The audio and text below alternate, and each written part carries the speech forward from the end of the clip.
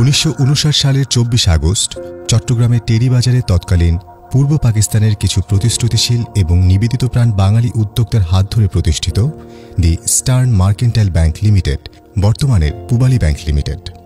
দীর্ঘ একষট্টি বছর ধরে বাংলাদেশের প্রত্যন্ত অঞ্চলে ব্যাংকিং সেবা প্রদান করে আসছে।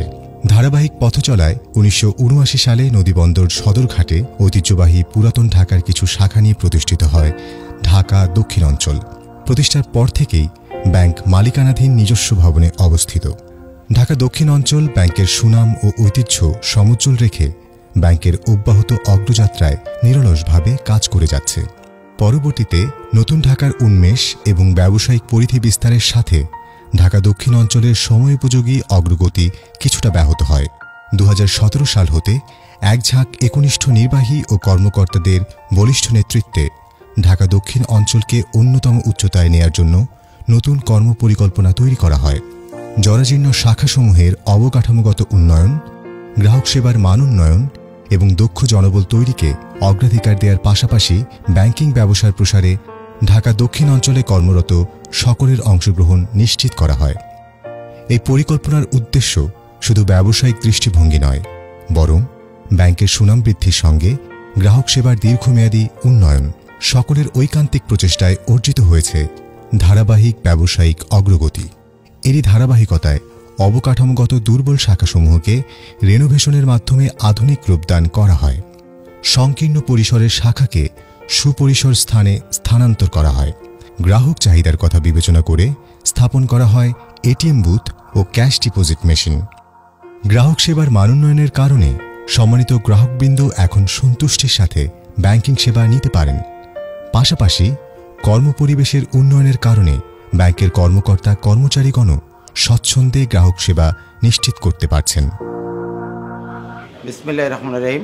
আমি দুই হাজার তেরো চোদ্দ সালে মিটফুডে ওষুধের ব্যবসা করার সময় আমি একটা দোকান ক্রয় করি। সেই সময় দোকান ক্রয় করার কারণে আমার আর্থিক সংকটে পড়ি এবং আর প্রবালী ব্যাংকের কাছে আমি একটি ছোট্ট লোন দরখাস্ত করি। সেই দরখাস্তের ভিত্তিতে দুই হাজার তেরো চোদ্দ সালে আমাকে একটা এসএমই ছোট লোন দেয়। এবং সেই লোন দেওয়ার পরে, আলহামদুলিল্লাহ আমি এখন প্রতিষ্ঠিত একজন ব্যবসায়ী। আর একটা কথা বলতে হয়, পূবালী ব্যাংকের নেটওয়ার্ক এত শক্তিশালী, আমাদের পার্টিরা সারা বাংলাদেশ থেকে যেখান থেকে টাকা দেয়, সাথে সাথে আমাদের মোবাইলে এস চলে আসে এবং আমরা যদি পার্টিকে টাকা দিই, সাথে সাথে আমাদের মোবাইলে এস চলে আসে। উনিশশো পঁচাশি সন থেকে পূবালী ব্যাংকের সাথে আছি। ক্ষুদ্র ঋণ থেকে আজ সফল ব্যবসায়ী এবং নির্বিঘ্নে পূবালী ব্যাংকের সাথে ব্যবসা করছি। পূবালী ব্যাংকের একজন গর্বিত সদস্য আমি।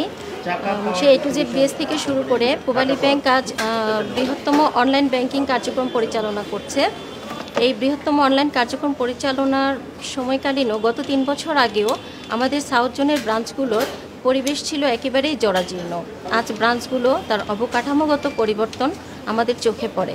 আমাদের গ্রাহকবৃন্দ এখন আমাদের ব্রাঞ্চের অবকাঠামোগত পরিবেশে সবাই খুব সন্তুষ্ট এবং আমরাও যারা এমপ্লয়ি আছি, তারা খুব কমফোর্টেবলি কাজ করি।